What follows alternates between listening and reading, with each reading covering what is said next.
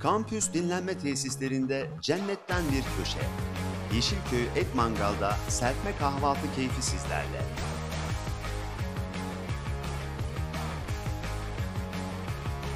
Çeşit çeşit kahvaltılıklar, doğal ürünler ve yanı başınızda demlenen çaya doğanın huzuru eşlik ediyor.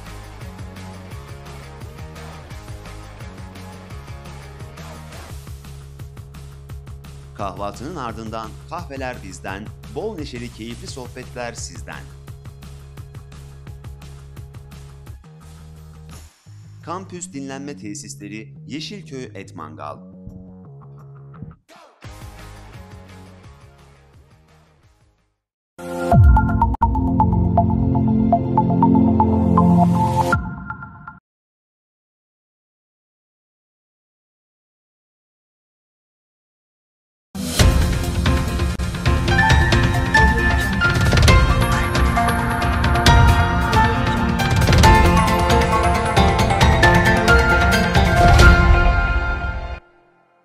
68 Televizyonu haber merkezimiz tarafından hazırlanan haberlerle karşınızdayız. İlk haberimizle başlıyoruz.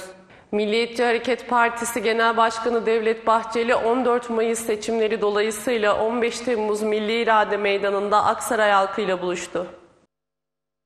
karşısındayız. Sevdamız Türkiye'dir. Vatanımız yeryüzü cennetimizdir.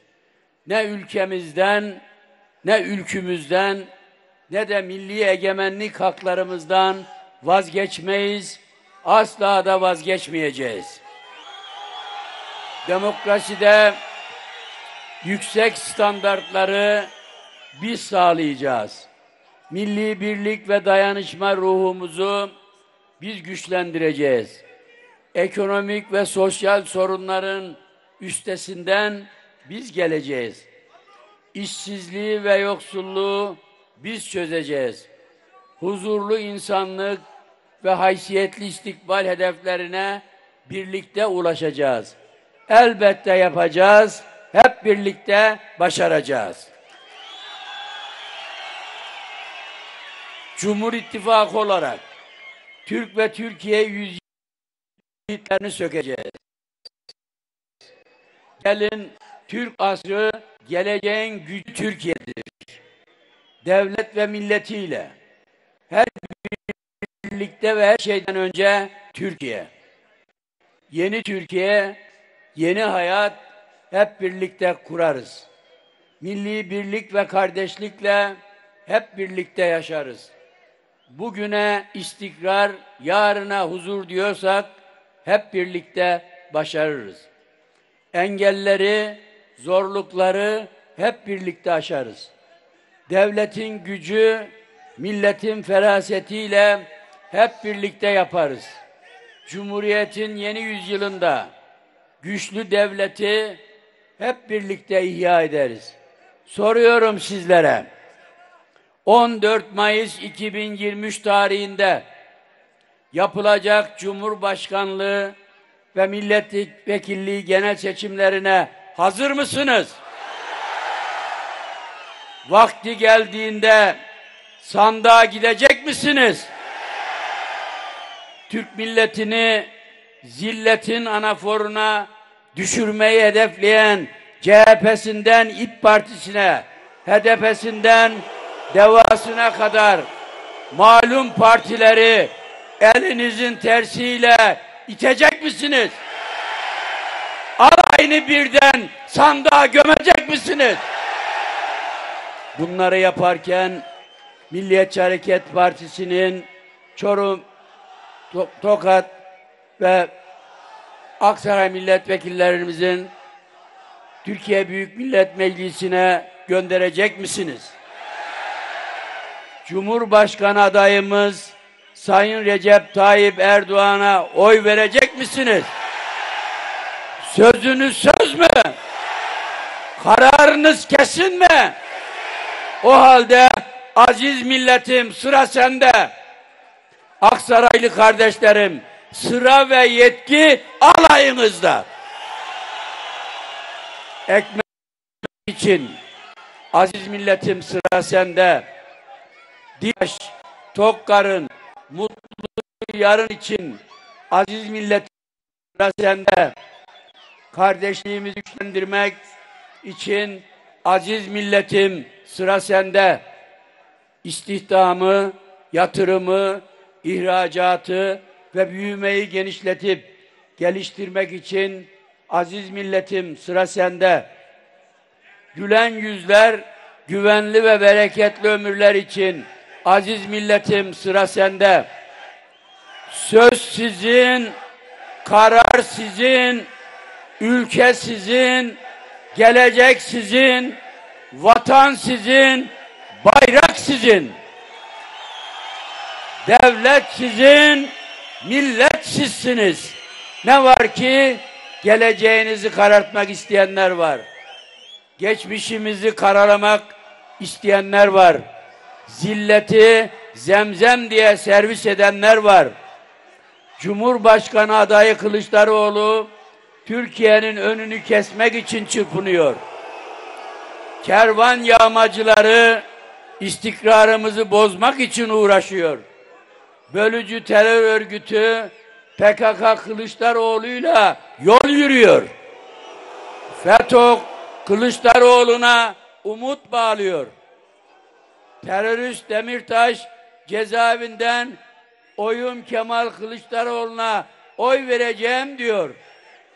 Amerika Birleşik Devletleri'nde yayımlanan The Washington Post gazetesi Kılıçdaroğlu'nu Joe Biden'e benzetiyor. Bunun yanında Cumhurbaşkanımız Sayın Recep Tayyip Erdoğan'ın yenilgisini Türkiye ile Batı arasında sağlıklı ilişkilerin ve dünya çapında bir zaferin işareti olarak değerlendiriliyor. The Economist dergisi Erdoğan gitmeli manşetiyle nifak saçıyor. Yine Kılıçdaroğlu Amerika Birleşik Devletleri'nde yayınlanan The Wall Street Journal gazetesine verdiği röportajda Rusya'ya yaptırım uygulama konusunda batılı ülkelerin aldıkları kararlara uyma sözü veriyor. Sosyal medyada Türkiye'ye savaş açılmıştır. Bütün FETÖ'cü ve Türkiye düşmanı yılan ve çıyanlar iftiralarla, itibar suikastleriyle insanlık değerlerini çiğnemektedirler.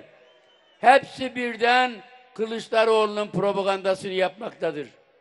İnsanların mahremiyeti, özel hayatı, hak ve özgürlükleri en adi şekilde hedef alınmaktadır.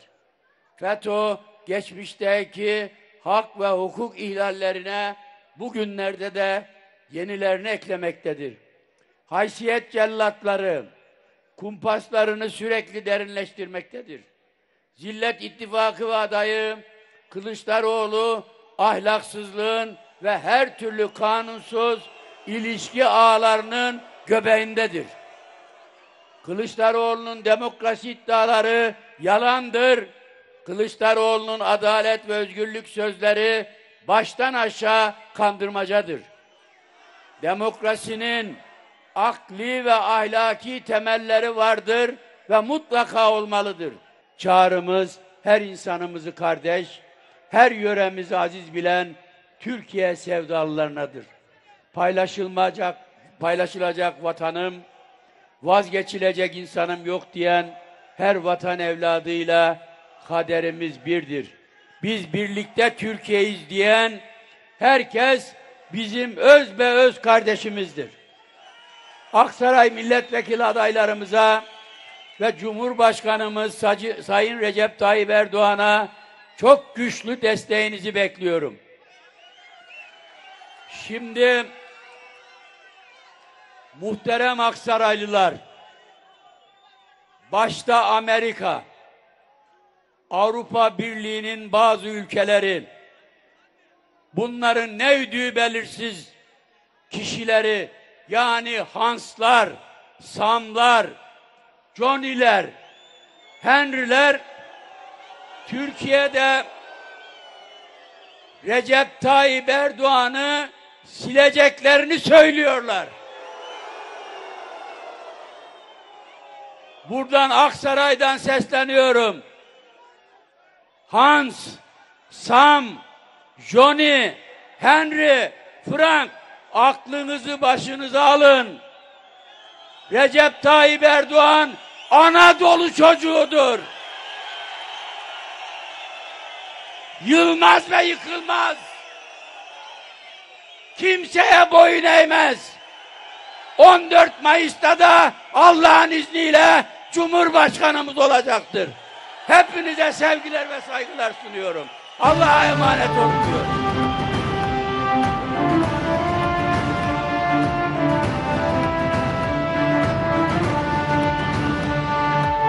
ziyaretleriyle ilimizi şereflendiren Milliyetçi Hareket Partisi'nin saygıdeğer Genel Başkanı Devlet Bahçeli Bey'e şükranlarımızı sunuyoruz.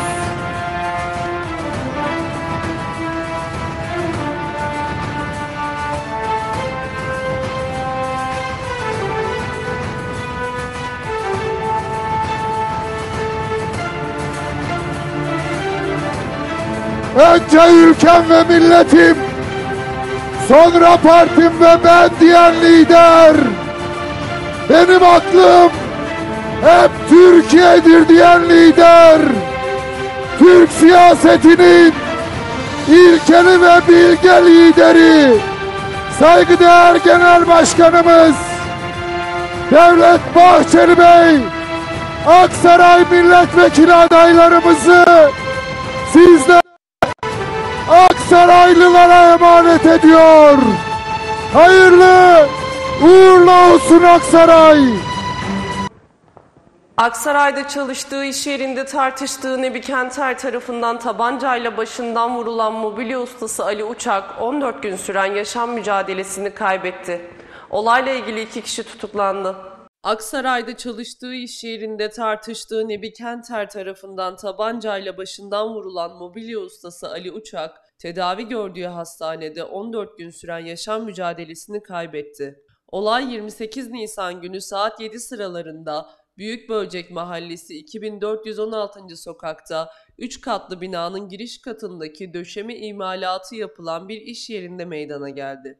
Ali Uçak çalıştığı iş yerinde yalnızken meslektaşı Raşit Sancar, arkadaşı Nebi Kenter ile birlikte yanına geldi. İki meslektaş arasında iddiaya göre Sancar'ın çalınan iş malzemeleri nedeniyle tartışma çıktı. Tartışmanın kavgaya dönüşmesi üzerine Nebi Kenter tabancayla ateş ederek Ali Uçak'ı başından yaraladı. Uçak kanlar içinde yere yığılırken Sancar ve Kenter iş yerinden çıkıp uzaklaştı. Çevredekilerin ihbarıyla adrese polis ve sağlık ekipleri sevk edildi. Ambulansla Aksaray Eğitim ve Araştırma Hastanesi'ne kaldırıldı. Olayla ilgili çalışma başlatan polis, Raşit Sancar ve Nebi Kenter'in saklandıkları bağ evine operasyon düzenledi. Polislerin geldiğini fark edince motosikletle arazide kaçmaya çalışan iki şüpheli yaklaşık 15 kilometrelik takiple yakalandı. Raşit Sancar ifadesinde Ali Uçağ'ın benim mobilya malzemelerimi çaldığını duyunca dükkanına arkadaşım Nebi Kenter ile gittik. Daha sonra kavga çıkınca arkadaşım Nebi silahla Ali Uçağı vurdu dedi. İki kişi 29 Nisan günü sevk edildikleri mahkemece tutuklandı. Bekar olan Ali Uçar bugün tedavi gördüğü hastanede 14 gün süren yaşam mücadelesini kaybetti. Maliye Bakan Yardımcısı Yunus Elitaş bir dizi ziyaret için Aksaray'a geldi. Uygulamasıyla ilgili konuşmalarını yapmak üzere Aksaray İl Jandarma Komutanı Jandarma Albay Sayın Hacı Ali Biber'in kürsüyü teşriflerini arz ederim. Bugün engelli vatandaşlarımıza yönelik olarak bir günlük temsili askerlik eğitimine mütakip yemin töreni icra edil- edilmiştir. Törene katılarak bizleri ve yemin edecek kardeşlerimizi onurlandırdığınız için şahsım ve birliğim adına şükranlarımı sunarım. Askerlik her Türk gencinin yapması gereken kutsal bir görevdir. Sizler biraz önce ettiğiniz kutsal askerlik yeminiyle tam bir asker oldunuz. Bugün sizlere kısa da olsa kutsal askerlik görevini yapmanın gurur ve onurunu yaşatmaktan şanlı Türk jandarmasının şerefli birer neferi olarak sizleri aramızda görmekten dolayı mutluluk duyuyorum. Yaptığınız askerlik tebliğinin Yüce Türk milletine, jandarma teşkilatımıza, ailelerinize ve sizlere hayırlı ve uğurlu olmasını diliyorum. Konuşmalarını yapmak üzere Hazine ve Maliye Bakan Yardımcısı Sayın Yunus Elikaç'ın kürsüyü teşriflerini arz ederim. Kıymetli Mehmetçiğimiz, bugün bir günlük de olsa asker olmanın onurunu, şerefini tadan, paylaşan çok kıymetli kardeşimiz, kardeşlerimiz, hemşehrilerimiz hepinizi saygıyla, sevgiyle selamlıyorum. Çok spontane gelişen, ani gelişen bir programdı. Ben Aksaraylıyım, ağaç öğrenciyim. Burada bir program için e, bulunuyorum ama burada e, engelli kardeşlerimizin e, temsili de olsa bir günlük askerlik e, deneyimini e, programladıklarını öğrenince hemen sağ olsun başkanımla birlikte çıktık geldik. E, hem günlük rutinin dışına çıkmış olmak hem de bu kadar güzel bir ortamı sizlerle beraber paylaşmış olmaktan çok mutlu oldum. Çok teşekkür ediyorum. Bu organizasyonu tertip eden komutanlığımıza, valiliğimize ve katılan siz değerli hemşehrilerimize. Şimdi e, değerli vali yardımcımıza da sordum. Burada kardeşlerimiz yemin ederken e, çok düzenli gördüm, intizamlı gördüm. Bunun için ne kadar hazırlandılar e, diye sordum. Sadece belki yarım saatten fazla bir hazırlık yapılmış. E, bunun için ayrıca e, hayran oldum. Teşekkür ediyorum. Çünkü biz de askerlik yaptık. Gerçekten e, şu yemin töreni için bir ay hazırlanıyorduk. Acemiliğimiz bir ay sürüyordu. Daha sonra e, biz de bu şekilde yemin ediyorduk. Orada bir bazı aksaklıklar çıkıyordu. Hepsine e, gözlerinden öpüyorum kardeşlerimi teker teker. Çok teşekkür ediyorum bu güzel e, ortamı bize sundukları için. E, genel olarak bahsetmek istediğim şey de şu. Dediğim gibi çok memnun oldum. Böyle bir ortamda bulunduğum için, sizlerle şu an paylaştığım için. ilk defa böyle bir ortamda bulundum. Onu da söyleyeyim. Gurur duydum kardeşlerimle.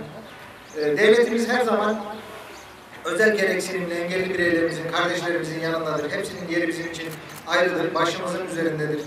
Ee, onlara evde, e, sokakta, sosyal hayata katılmaları için, özel eğitim e, imkanlarının sağlanması için elimizden gelen bütün desteği zaten size en yakından biliyorsunuz, veriyoruz. Bundan sonra da inşallah her türlü desteği vereceğiz. Dediğimiz gibi onların yeri bizim için Tabii ki onlarla birlikte sizlerin, ailelerinin yeri bizim için ayrıdır.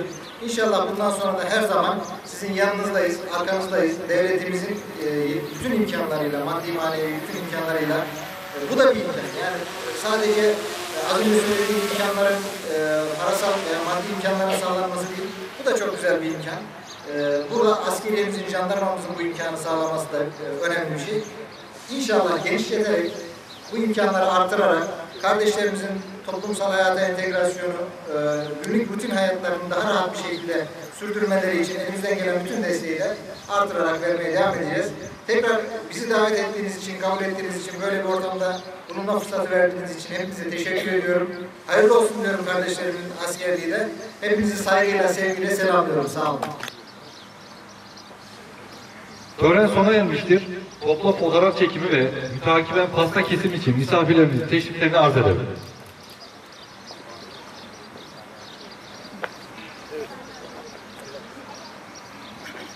Biraz daha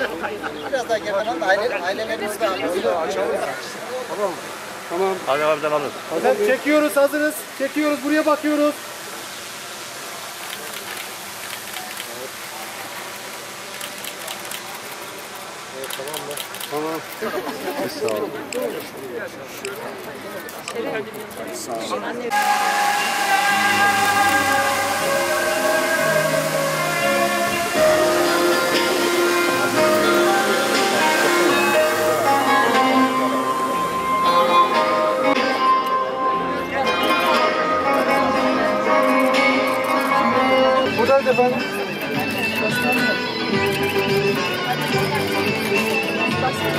Hadi bakalım. Tamam. Hadi. Alkışlayalım.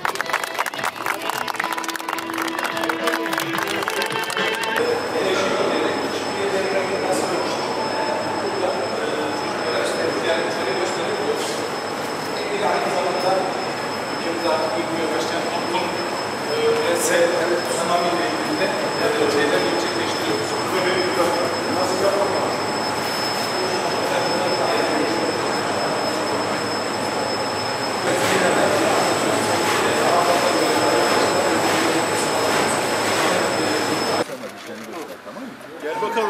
Arkada çekinelim prens. Gel bakalım. Hadi gel bakalım. Hadi bakalım. Eyvallah. Bizim atık kumbaralarımızın hepsi evet ama en önemlisi atık kumbaralarımızın belediyemizin giysi kumbaralarından alınan atık malzemelerden evet dönüştürülmüş malzemeler ve defilesi de eee başkanımızın eşi Sayın Merve Dinçer eşliğinde bir defile sergilendi. Tablo hediye önce. Buyurun. Ha, onu da gördüm evet. Can, can, efendim. Bakan yardımcımız, hemşehrimiz Sayın ziyarete geldiler. Merhabalar, kolay gelsin. El işi yapanlara ne denir ama kolay gelsin diyoruz. Öyle mi? Kal- Kalın müşteri evet. Ellerinize sağlık diyelim. Kolay gelsin. Sağ olun.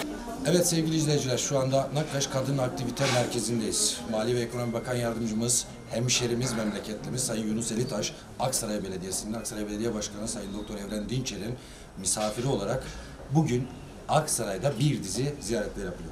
Efendim memleketimize hoş geldiniz. Teşekkür ediyorum. Hoş bulduk. Çok sağ olun. Sizlere, belediye başkanımıza, hemşehrilerimize, misafirperverlikleri için çok teşekkür ediyorum. Sağ olun. Biz teşekkür ediyoruz. Peki efendim şimdi eee bir dört yıl önceki Aksaray'la bugün Aksaray arasında ne fark var? Hemen hem bir Aksaraylı olarak hem bir bürokrat olarak sizin gözünüzden Yani kendi memleketim olduğu için söylemiyorum ama Aksaray'ın tabii ki her zaman bizde yeri ayrıdır. Milliyetçi, muhafazakar, vatanına, milletine sahip çıkan, devletine, devlet adamlarına sahip çıkan e, insanlarımızın yeri bizde her zaman ayrıdır. Onun haricinde şehirleşme olarak, imar olarak da sağ olsun belediyelerimiz en son e, belediye başkanımız e, çok güzel çalışmalar yaptı. Zaten sokaklarda gezdiğiniz zaman çiçek gibi tertemiz, planlı, programlı e, imar çalışmaları, ihya çalışmaları, şehirleşme çalışmaları herkesin zaten gözüne çarpıyor. Biz de bunu her e, geldiğimizde e, daha da ileriye gittiğini gördükçe memnun oluyoruz, mutlu oluyoruz. E, Aksaray'ımız e, bizim göz bebeğimiz. Evet. Peki efendim şimdi sosyal belediyecilik anlamında şu anda içinde bulunduğunuz noktalardan bir tanesi de kadın aktivite merkezi kadınlarımız da burada. Şimdi sosyal belediyecilik anlamda Aksaray'ın geldiği nokta nedir sizin gözünüzde? Şimdi az önce e, bilim merkezinden geldik. Burada e, kadınlarımızın koordinasyon merkezindeyiz. Burada çok çeşitli sosyal e, ve kültürel et- etkinlikler yapılıyor, eğitim faaliyetleri yapılıyor belediyemizin koordinesinde. E, tamamen belediye, belediyemizin yönetiminde. Buradan inşallah e, gençlerimizin e, çalıştığı e, kitap merkezine geçeceğiz inşallah orada. Bunların hepsi e, özellikle son birkaç yıl içerisinde ortaya konulmuş hizmetler. Genel olarak zaten e, hükümetlerimizin, devletimizin e, teşvik ettiği, bizim belediyecilik anlayışımızda gördüğümüz şeyler Aksaray'da da son birkaç yılda özellikle hızlandığını, bu hizmetlerin yaygınlaştığını görüyoruz. Şu anda da zaten burada kardeşlerimizle, ablalarımızla bir aradayız. Onların da az önce hallerini hatırlarını sorduk. Çok memnun olduklarını gördük. Onların memnuniyeti tabii ki bizleri memnun etti. Belediye başkanımıza, e, buradaki bütün görevli arkadaşlarımıza, katılımcılarımıza teşekkür ediyoruz bu imkanları hemşehrilerimize sundukları için. Evet. Peki son olarak efendim buradan Aksaray hemşehrilerimize ne söylemek istersiniz? Hepsine çok selamlarımı iletiyorum. Ee, Ankara'da bir kardeşleri var. Ee, inşallah ne zaman e, gelmek isterlerse kapımız sonuna kadar açık. Başımızın üstünde yerleri var. Biz de e, bir devlet görevlisi olarak, kamu görevlisi olarak hem devletimize, özellikle de tabii ki Aksaray'ımıza e, son nefesimize kadar e, hizmet etmeye devam edeceğiz. Hepsine selamlarımı, saygılarımı sunuyorum. Çok teşekkür ediyoruz. Sağ olun. Evet sevgili izleyiciler, Hazine ve Maliye Bakan Yardımcımız hemşerimiz Yunus Elitaş Aksaray'da Aksaray Belediyesi'nin misafir olarak bir dizi ziyaretler gerçekleştiriyor. Bu ziyaretlere Aksaray Belediye Başkanı Sayın Doktor Evren Dinçer de eşlik ediyor. Efendim, Bakan Yardımcımız burada. Aksaray Belediyesi olarak e, bakanlığımızdan taleplerimizi dile getirdik mi efendim? Öncelikle Sayın Bakanımıza hoş geldiniz diyorum. Ee, sağ olsunlar bir hemşerimiz olarak Ankara'da bizi temsil eden birisi olarak şehrimize geldiler, misafir ediyoruz. Belediyemizde yapmış olduğumuz çalışmaları, şe- şehrimizi gezdiriyoruz kendilerine. Bir talepten öte hükümetimiz zaten e, AK Parti hükümetimiz belediyemize biz ne zaman müracaat etsek e, ihtiyaçlarımızın karşılanması noktasında her zaman bakanlarımız, bakan yardımcılarımız ellerinden gelen gayreti gösteriyorlar. Sağ olsunlar. Sayın Bakan Yardımcı, Yardımcımız da aynı şekilde. Ne zaman Ankara'ya gitsek, kapısını çalsak hiçbir zaman bizi boş çevirmediler. Bugün de kendileri Aksaray ziyaretleri kapsamında öncelikli olarak valiliğimiz, akabinde belediyemiz şu anda şehrimizi geziyoruz. Ee, alay komutanlığımızda malumunuz bu hafta engelliler haftamız. Ee, engelli gençlerimizin bir yemin töreni vardı jandarmamızda. Ona iştirak ettik ve onların o mutluluğuna biz de ortak olduk. Çok sevindik. Ee, gerçekten çok duygusal anlar yaşadık engellilerimize. Bu vesileyle de tüm engellilerimizin Engelliler Haftası'nı tebrik ediyorum. Akabinde bizim belediyemizin açmış olduğu, hizmete sunmuş olduğu bilim merkezimiz var. Orada anne çocuk buluşması kapsamında e, onlarca bebeğimizle, çocuğumuzla buluştuk. Onların sevinçlerine ortak olduk. Onlarla beraberdik. Şu anda da kadın aktivite merkezimizdeyiz. Hassas Nakkaş ve Küçükbacak mahallelerimize hitap eden kadın aktivite merkezimizde. Buradaki kursiyerlerimizle beraber onları selamladık ve merkezimizi gezdiriyoruz. Buradan da hizmete açmış olduğumuz yakın zamanda kitap konağımızda orada gençlerle beraber bir programımız var.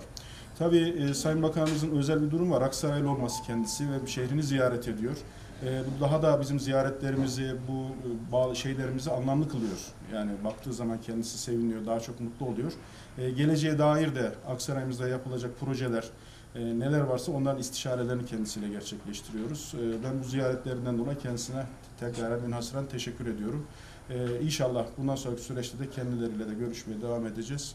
Tekrar hoş geldiniz, sefalar getirdiniz. Çok teşekkür ederiz efendim. Çok teşekkür ederim. Okula yetişmesi için çocuklarını almak için çıkıyorlar bu saat, çıkış saatleri. Nasıl memnun musunuz belediyemizin hizmetlerinden? Hazine Maliye Bakan Yardımcısı, Aksaraylı aynı zamanda. Evet, hoş geldiniz. Benim bir şey yok da bak başkanım olmuşken söyleyeyim. Söyleyin. Sağ olsun. Allah razı olsun. Teşekkür ederim. Sizden de Allah razı olsun. Çok, çok sağ olun. Sağ olun. Anneleri kurtar. Hoş Anneleri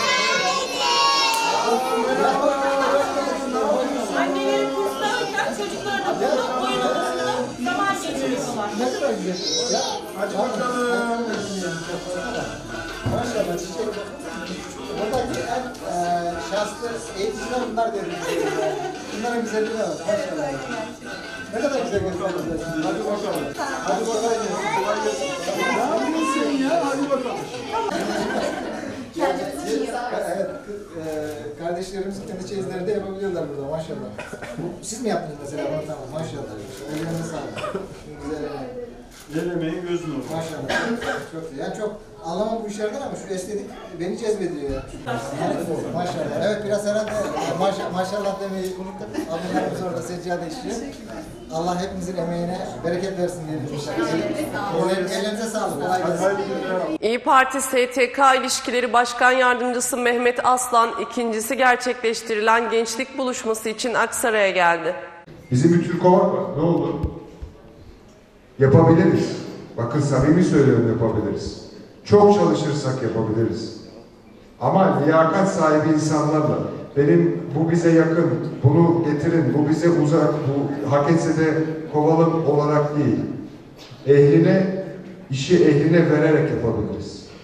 Ve sabrederek yapabiliriz. Gençlerimize o yolları göstererek yapabiliriz. Eğer burada bir öğretmen, burada bir okul müdürü, burada bir doktor hayatına endam ettiremiyorsa, bugün Kırşehir'de bana bir tane e, doktor hanım geldi.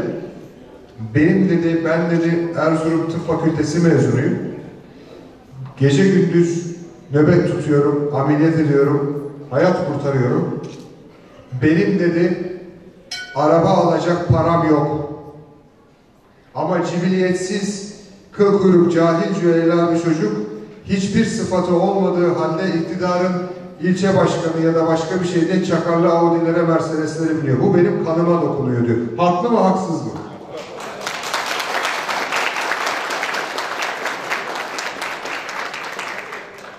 Gidin bakın iktidar partisindeki adamların bir tane vasıflısını bulamazsınız. Sizin tırnağınız etmez. Üniversitelerde gidin bakın.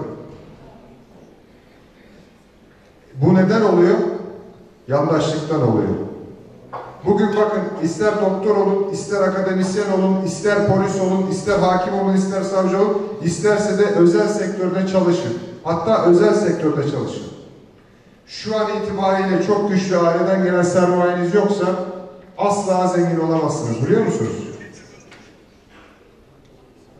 Ancak ve ancak AKP'nin yandaşı ya da onların hizmetkarı ya da onların emrinde çalışıp onların prangası altında olursanız size yol verirler ve zengin olursunuz. Bu zihniyetle yönetilen bir devletten hiçbir şey olmaz. Yurt dünyanın neresine giderseniz gidin ikinci değil beşinci sınıf vatandaş olarak gözükürsünüz. Bunu kırmak zorundayız. Bu eşitsizliği yıkmak zorundayız. Bugün bir hakim ya da savcı o ilin il başkanından emir alıyorsa o ülkede adalet yoktur. Yarın öbür gün adalet hepinize lazım. Hepimize lazım. Çoluğunuza çocuğunuza lazım. Bu ülkede defolup gitsinler dediğiniz dedikleri doktorlara hepiniz lazımsınız. Hepimize lazımlar. Doğru mu yanlış mı? Hepimiz çok büyük bir afetten çıktık. 11 ilimiz etkilendi. Dünyadaki en büyük afetlerde ilk üçe girecek büyüklükte bir depremle karşı karşıya kaldık. Deprem bir jeolojik olaydır arkadaşlar. Cenab-ı Allah tarafından yapıldığını inanıyoruz. İnancımız, fıtratımız bu. Ama orada büyük bir yanlışlık düşüyoruz ama aynı Allah Japonya'nın da Allah. Ve bizden kat ve kat fazlalarını depremlerle karşılaşıyor. Bugün böyle bir toplantıyı Japonya'da yapsaydık Tokyo'da bu konuşmayı yaparken en az iki tane deprem atlatmıştık biliyor musunuz? Fark etmemiştiniz bile. Orayı da Allah yarattı. Bugün deprem oldu. 10 ilin tamamı neredeyse yok oldu. Doğru mu? Doğru değil mi? Neden gurur duydukları AFAD rezil oldu biliyor musunuz? AFAD'ın yüzde sekseni personelinin ne olduğunu biliyor musunuz? Ha? Hepsi Diyanet İşleri'nden geldi. Bir tane sivil toplum e, kurtarma ekibinden gelmiş çocuk yok biliyor musunuz? Yükseklerde yönetimlerde. Allah her şeyi hak edene verir arkadaşlar. Bundan emin olun. Allah da bize akıl verdi, bilim verdi, fıtrat verdi, ruh verdi. Çalışmak zorundayız, başarmak zorundayız. Ya 20 yıldır, 20 yıl. Geçen gün bu çocuğa bugün konuşuyorum, vallahi kararsızım dedi. Ne yapacağız bilmiyorum falan. Neden kararsızsın dedim. Ya işte şu var, bu var, klasik söylemler. Onu da geçtim. Ya her şeyi bırak dedim ya. Abi bıkmadın mı dedim. Vallahi bıktım dedim. E niye değiştirmiyorsun? Ya bilmiyorum alıştım bana da bir şeyler geldi dedi. Değiştireceğim tamam vazgeçtim dedim. Ya 20 yıl bir şey yönet bir insan ya 20 yıl ya. Yani bunu değiştirmezsek yani makus kaderimize mecbur kalırız yani. Hepimiz bunu yapmak zorundayız arkadaşlar. Bu ülke hepimizin. Ve ne oluyor yani, yani bu bir, bir siyasi hizmettir arkadaşlar. Siz bir restorana gittiğiniz zaman istemediğiniz halde sevmediğiniz yemeği zorla 20 yıl yeseniz hala aynı restorana gider misiniz? Ya bu bir hizmet. Siyasi partiler futbol takımı gibi tutulmaz. Bunlar size hizmet edecekler. Biz size hizmet etmek için varız. Beğenmiyorsan değiştireceksin. Sıkıldıysan değiştireceksin. Biz geldik. Niye beğenmiyorsan bizi de değiştireceksin. Bu kadar basit. Ya bu ülkede çalışmak zorundayız, üretmek zorundayız, beraberce de yaşamak zorundayız. Ölüm kalım meselesi pazar günü. Ya ben her seç 92'deki seçimler, 91 seçimlerinde toplamışlar diyorlar ki bu Türkiye'nin hayat memat meselesi. Kaybedersek Türkiye batar. Battı mı Türkiye? Bu kadar basit. Bu kadar ayrılaştırmak, bizden olan kahraman, bizden olmayan hain. Bu kadar kolay, bu kadar aşağılara çekilen bir politik söylem hiç olmamıştı. Olamaz da, olmamalı ya. Biz beraberiz. Biz hepimiz aynı apartmanda farklı siyasi görüşteki olan insanlar birlikte oturuyorlardı eskiden. Konuşuyorduk, görüşüyorduk, sohbet ediyorduk. Şimdi onların hepsi koptu, hepsi bitti. Tekrar bir olmalıyız, tekrar üretmeliyiz, tekrar kaynaşmalıyız. Ve üreterek, çoğalarak kendi milli safi hasılamızı yükseltmek zorundayız. Eğitimimizi yükseltmek zorundayız. Bir nesil heba oldu pandemiden ve öncesinden. Ne oldu? Memleket Partisi Cumhurbaşkanı adayı Muharrem İnce'nin Cumhurbaşkanlığı adaylığından çekilmesinin ardından Memleket Partisi Aksaray İl Başkanı Oktay Künt ve yönetim kurulu üyeleri partisinden istifa ederek AK Parti saflarına katıldı. Memleket Partisi Cumhurbaşkanı adayı Muharrem İnce'nin Cumhurbaşkanlığı adaylığından çekilmesinin ardından Memleket Partisi Aksaray İl Başkanı Oktay Künt ve yönetim kurulu üyeleri partisinden istifa ederek AK Parti saflarına katıldı. AK Parti il binasında İl Başkanı Hamza Aktürk ile bir araya gelen Künt ve beraberindeki yönetim kurulu üyeleri yaşanan gelişmelerin ardından AK Parti'yi ve Cumhurbaşkanı Recep Tayyip Erdoğan'ı destekleme kararı aldıklarını belirttiler. Künt ve Parti Yönetim Kurulu üyelerinin AK Parti rozetlerini AK Parti İl Başkanı Hamza Aktürk, Merkez İlçe Başkanı Muammer Gür ve Milletvekili adayı Sinan Özkan taktı. İyi Parti Aksaray 2. sıra milletvekili adayı Ali Abbas Ertürk, Armutlu'da yolsuzluk yapıldığını iddia etti. Ee, kıymetli basın mensubu arkadaşlarım, çok kıymetli Armutlu halkı. Bugün e, bundan yaklaşık iki yıl önce gördüğünüz gibi Türkiye'nin en büyük lavanta bahçesi olarak tanıtımı yapı- yapılan, çarşaf çarşaf reklamları yapılan lavanta bahçesindeyiz. Armutlu halkı yanımızda siz basın mensupları da görüyorsunuz. Lavanta bahçesi geldiğimiz yerde şöyle hepimiz bakıyoruz. Sizler de çekin lütfen. Ee, bir lavanta yok ama şimdi birazdan açıklayacağım. Avanta. Yani o duyurunun lavanta değil avanta olduğunu sizlere duyuracağız. Burası Armutlu'nun Eşekkören mevkiinde 825 bin metrekare bir alan. Bundan yaklaşık 2-3 yıl önce Ahmet Cemal Dinçay adında, Dinçay adında bir vatandaş burayı kiralıyor. Ahmet Cemal Dinçay. Alalım. Bakın alanı e, şu şekilde.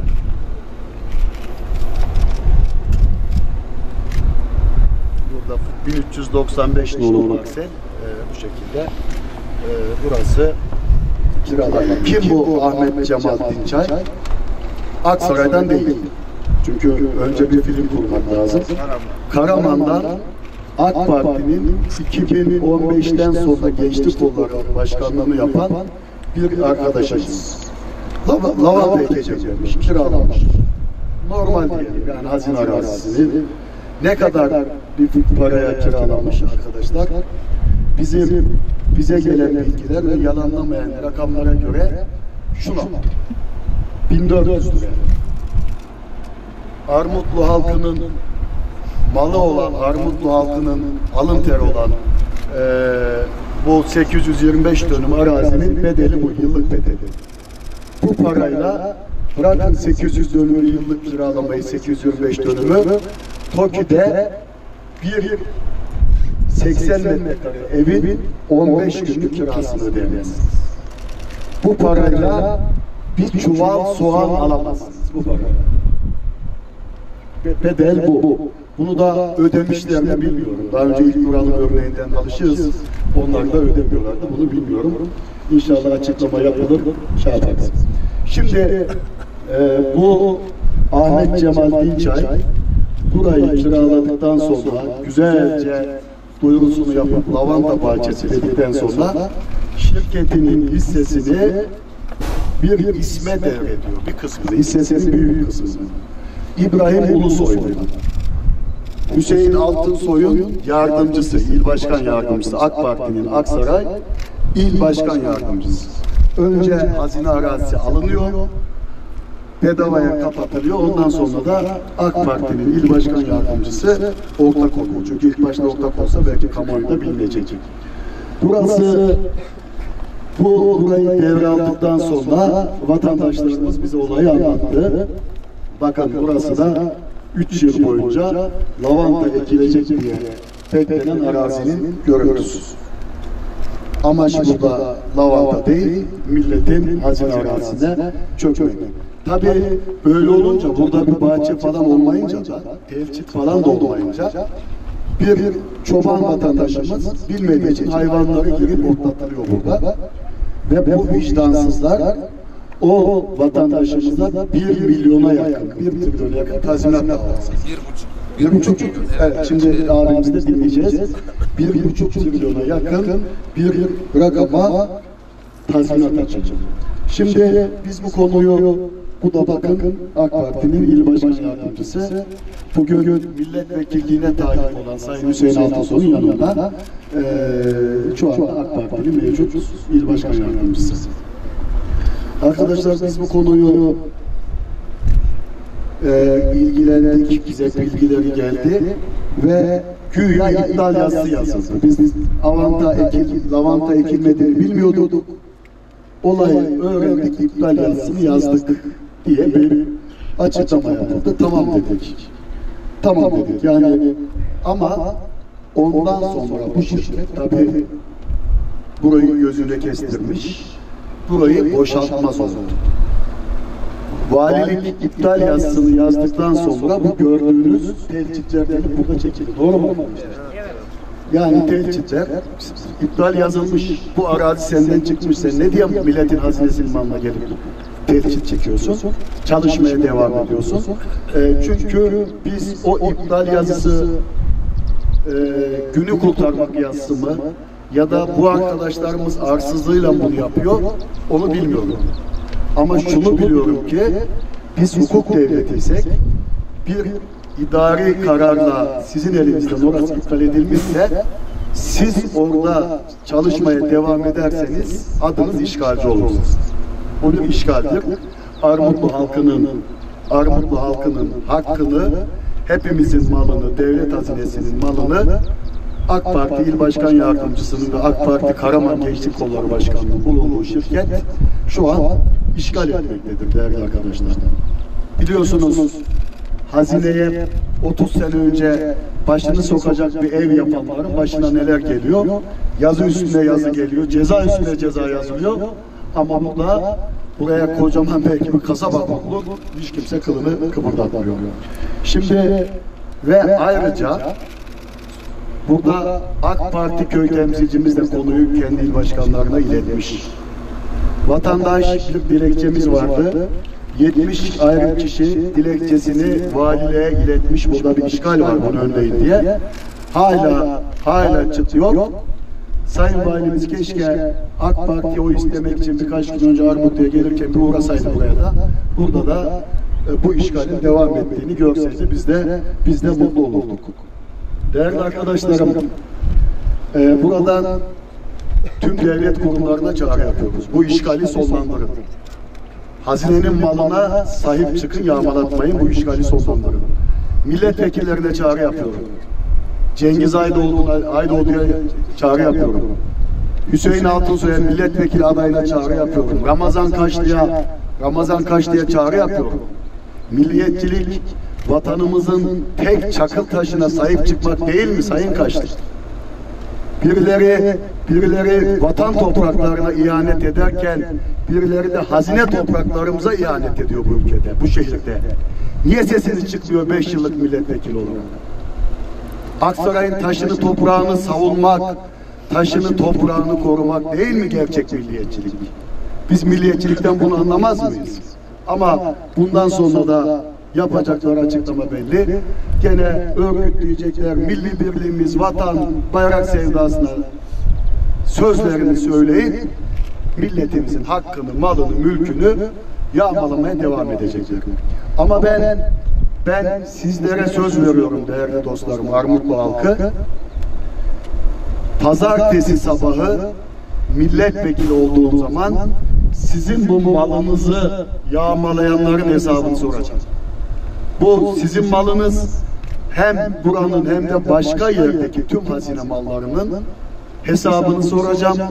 O ihmali olanların, çanak tutanların, ortak olanların, parmağını yalayanların yakasına yapışacağım. Bunu inşallah iki gün sonra hepiniz göreceksiniz.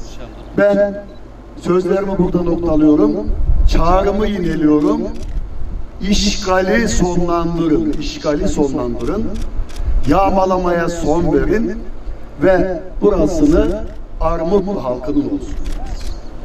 Karaman'dan Gençlik Kolları Başkanı gelip buradaki AK Partili bir kısım yöneticiyle de iş tutup film çevirip buraya çökmesin, milletin malına yazık etmeyin diyorum. Hepinize teşekkür ediyorum.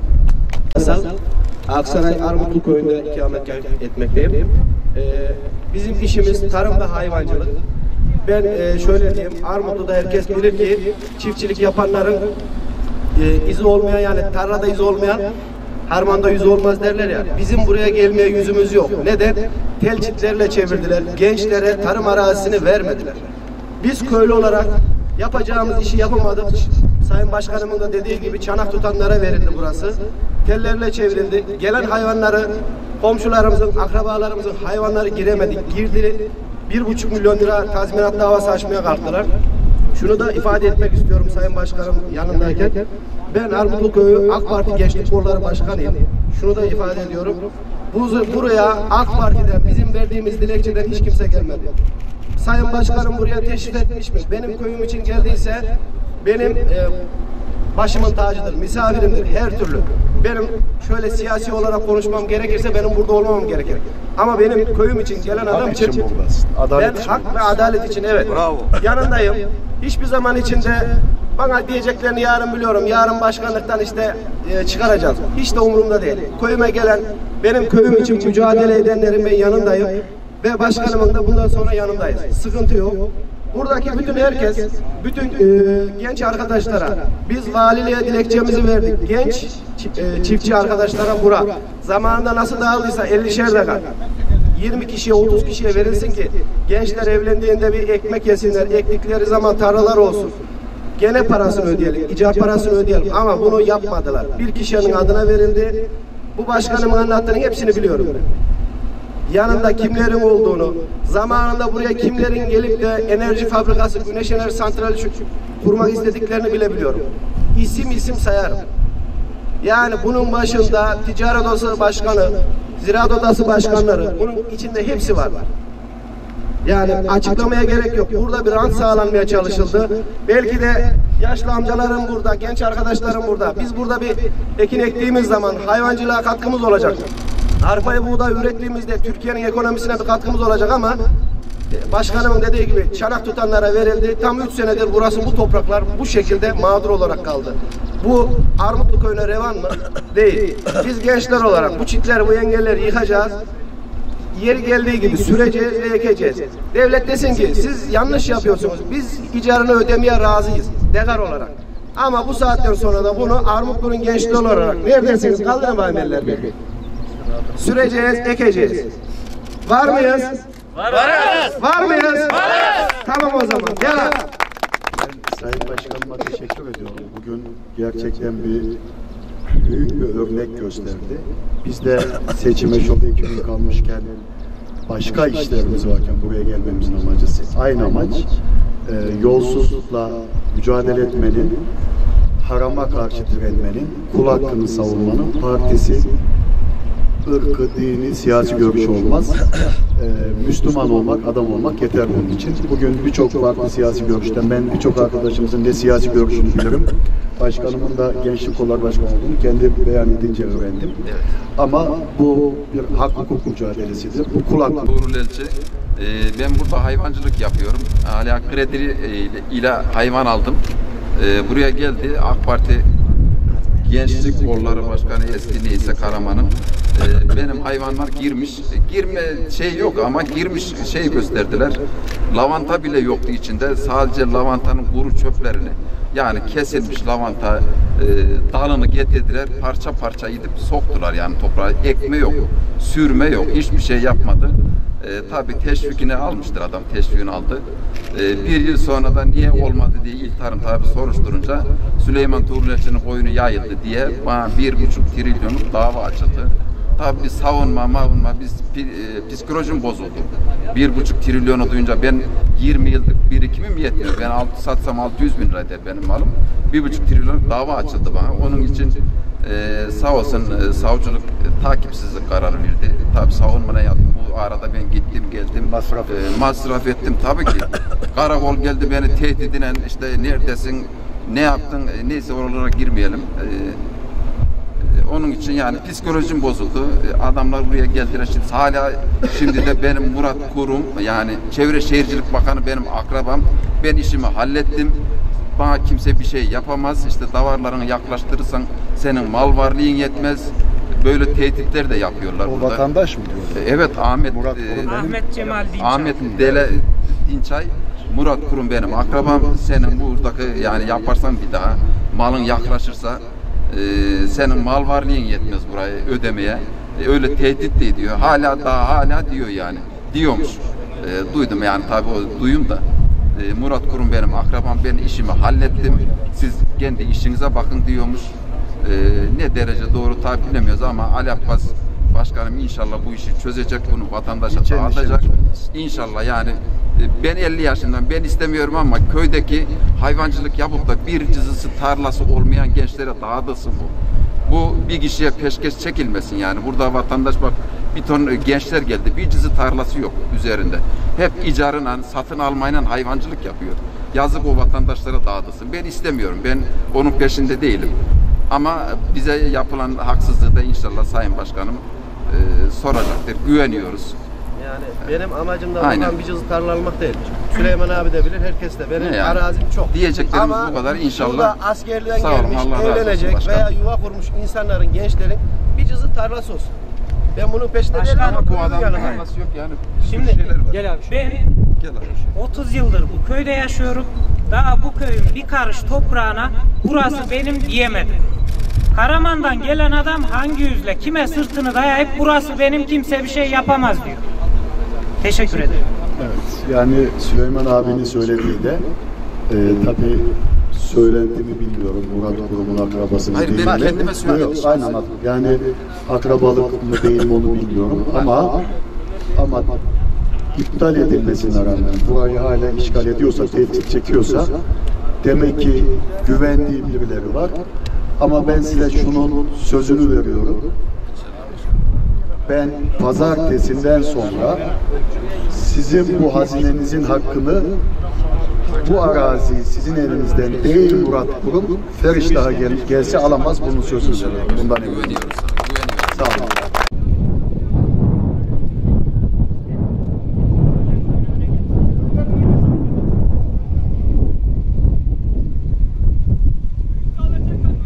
Aksaray Bilim Merkezi'nde sergilenen TOG ile birlikte hatıra fotoğrafı çektirmek ve aracı incelemek isteyen 7'den 70'e yüzlerce vatandaş ve öğrenciler TOG'a yoğun ilgi gösterdi.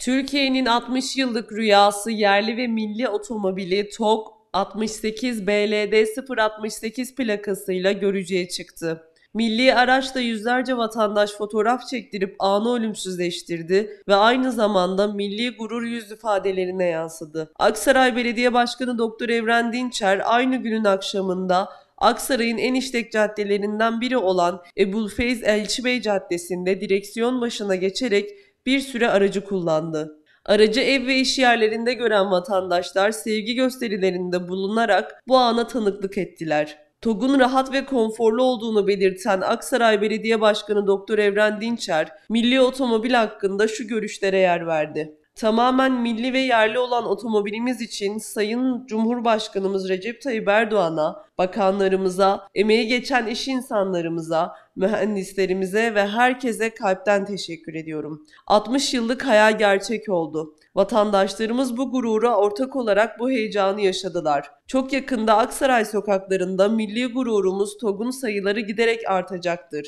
Sayın Cumhurbaşkanımızın da ifade ettiği gibi Türkiye'nin otomobili TOG ile elektrikli araç teknolojisinde yerimizi aldık. Mutluyuz, gururluyuz. Hemşerilerimiz de büyük teveccüh göstererek meydanları doldurdular. Teşrif eden herkese tek tek teşekkür ediyorum. Büyük organizasyonlarla, reklamlarla dolduramadıkları meydanları icraatlarımızla doldurmaya devam edeceğiz dedi. Daha sonra birçok vatandaş Başkan Dinçeri ile birlikte hatıra fotoğrafı çekinerek bu anı ölümsüzleştirdiler.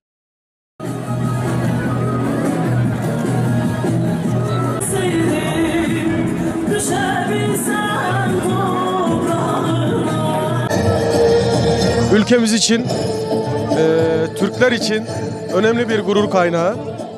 Bu gururu e, tüm Türk vatandaşlarının paylaşması lazım. E, böyle bir güzelliği ülkemize kazandıranlara biz teşekkür etmek istiyoruz. Şahsım adına da teşekkür ediyorum. E, ülkemiz için önemli bir e, girişim. İnşallah devamı gelir. E, uzun yıllar farklı modellerde e, Türk insanı kendi yerli ürettiği aracına biner. Ee, biz de e, talihlisi olduk. Ee, 5000 küsürüncü sırada yerimizi aldık. İnşallah almak bize de nasip olur. Araç da aynı bizim e, tercih ettiğimiz renk. Ee, o yüzden merak ettik. Almadan önce bir görelim dedik inşallah. Ee, hayırlı olsun vatana millete. Çok güzel. Çok sevindik. Çok güzel.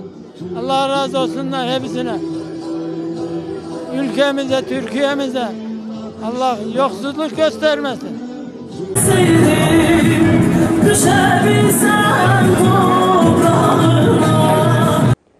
Aksaray Belediyesi'nin Dorukini mevkiinde başlattığı Yenişehir Mezarlığı projesinde çalışmalar tamamlandı.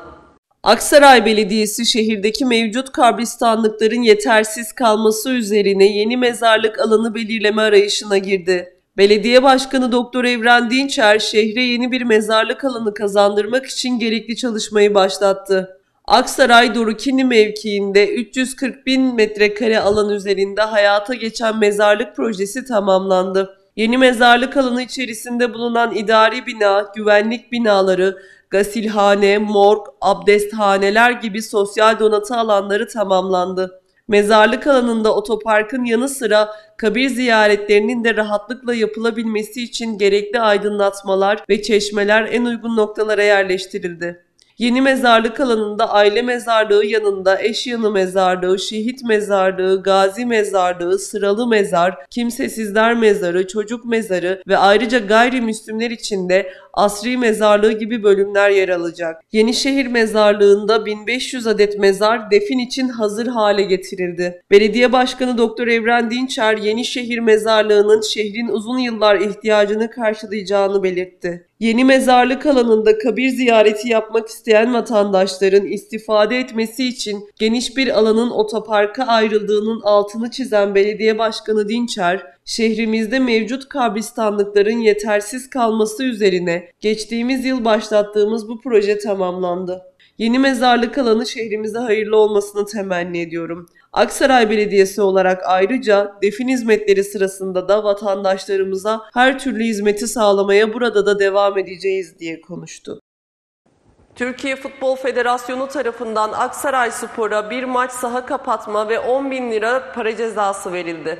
Türkiye Futbol Federasyonu Disiplin Kurulu 11 Mayıs 2023 tarihinde yaptığı toplantıda 68 Aksaray Belediyesporu ile Bursa Yıldırım Spor arasında 7 Mayıs 2023 Pazar günü oynanan ve 1-1 sona eren karşılaşmada kötü tezerrühattan dolayı bir maç saha kapatma ve toplamda 10 bin Türk lirası para cezası verildi. Türkiye Futbol Federasyonu yapılan toplantıda 68 Aksaray Belediyespor Kulübü'nün 07.05.2023 tarihinde oynanan 68 Aksaray Belediyespor Bursa Yıldırım Spor Türkiye Futbol Federasyonu 3. Lig 3. Grup müsabakasında taraftarlarının neden olduğu çirkin ve kötü tezerrühat nedeniyle ve bu eylemin aynı sezon içinde ev sahibi kulüp olduğu müsabakada 5. kez gerçekleştirilmesinden dolayı bir resmi müsabakayı kendi sahasında seyircisiz oynama ve 3000 lira para cezası ile cezalandırılmasına, aynı müsabakada 68 Aksaray Belediyespor Kulübü'nün taraftarlarının neden olduğu saha olayları nedeniyle 7000 lira para cezası ile cezalandırılmasına karar verdi. Bu karara göre 68 Aksaray Belediyespor'un ligin son haftasında 20 Mayıs 2023 Cumartesi günü oynayacağı Aydın Efeler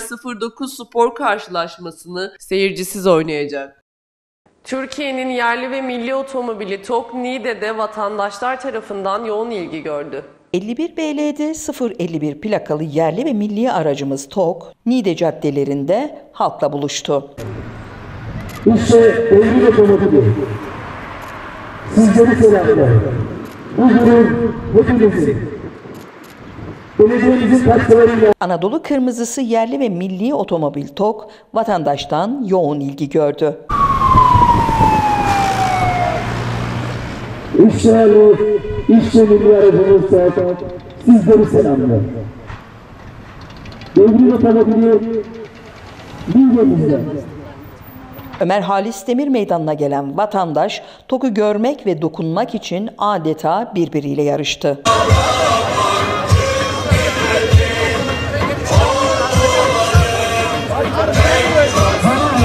Hep birlikte gururu.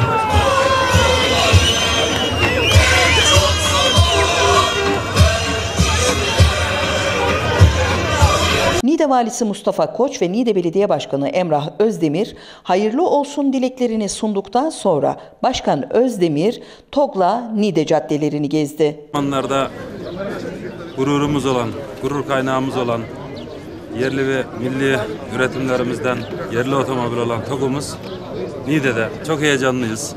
Hep basından takip ediyorduk. Ee, ama bugün gerçeğini de görmeyi Allah bizlere nasip etti. Gerçekten az önce inceledik, bindik de, hafif sürdük de. Ee, gerçekten anlatıldığının ötesinde e, gurur duymamız gereken bir ürün, üretim, otomobil. Biz diğer yerli ve milli üretimlerimizle beraber bu arabamızda da gurur duyduk. Bundan sebep e, emeği geçen, önderlik yapan başta Sayın Cumhurbaşkanımız olmak üzere herkese teşekkür ediyoruz. Biz de gerçekten yerli ve milli aracımız TOG'umuzu Niğde'de gördük ve çok da mutlu olduk. Niğde'mize de hayırlı olsun inşallah diyelim. Ee, inşallah yerli ve milli e, çalışmalarımız, seferberliğimiz devam ediyor. Sayın Cumhurbaşkanımıza gerçekten bir kez daha şükranlarımızı sunuyoruz. Bu gururu bizlere yaşattı, Türk milletine yaşattı. İnşallah zaten İHA'larımız, SİHA'larımız havadaydı. Yakın bir zamanda savaş uçağımız Kaan inşallah havalarda olacak. E, Dünyada ciddi şekilde ses getiren projelere imza atıyoruz. İşte Anadolu gemimiz biliyorsunuz e, İHA'sı, İHA'lara, SİHA'lara e, iniş kalkışına müsait olan dünyada sayılı ülkede bulunan TCG Anadolu gemimiz bir savaş gemimiz var artık. Savaş uçağı gemimiz var Türkiye ülkemizde. Gerçekten ne kadar gurur duysak azdır. İnşallah bu hamlemiz devam edecek. Artık Türkiye yüzyılı başlıyor. Yeni Türkiye yüzyılında inşallah çok daha güzel projelerle Sayın Cumhurbaşkanımızın liderliğinde daha çok Türk milleti olarak gurur duyacağız, onur duyacağız diyorum. Hepinize teşekkür ediyorum. Başkanımızın kanalıyla Yahu şu anda sizleri selamlıyor. İşte gururumuz. Şimdi sırada hava durumu var.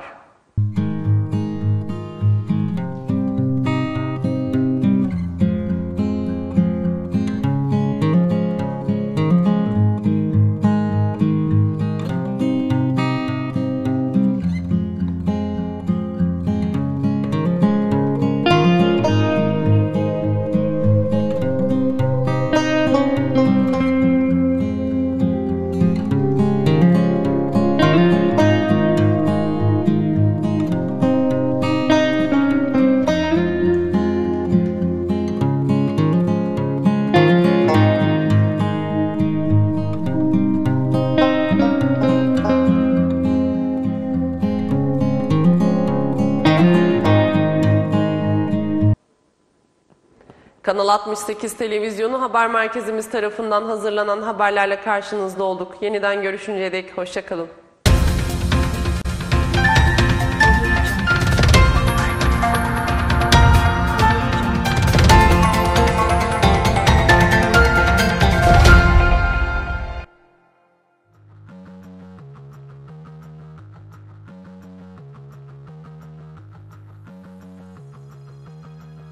Kampüs dinlenme tesislerinde cennetten bir köşe. Yeşilköy Et Mangal'da serpme kahvaltı keyfi sizlerle.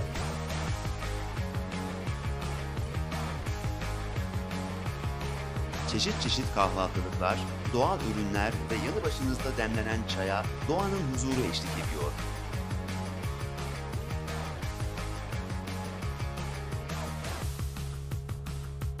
Kahvaltının ardından kahveler bizden, bol neşeli keyifli sohbetler sizden.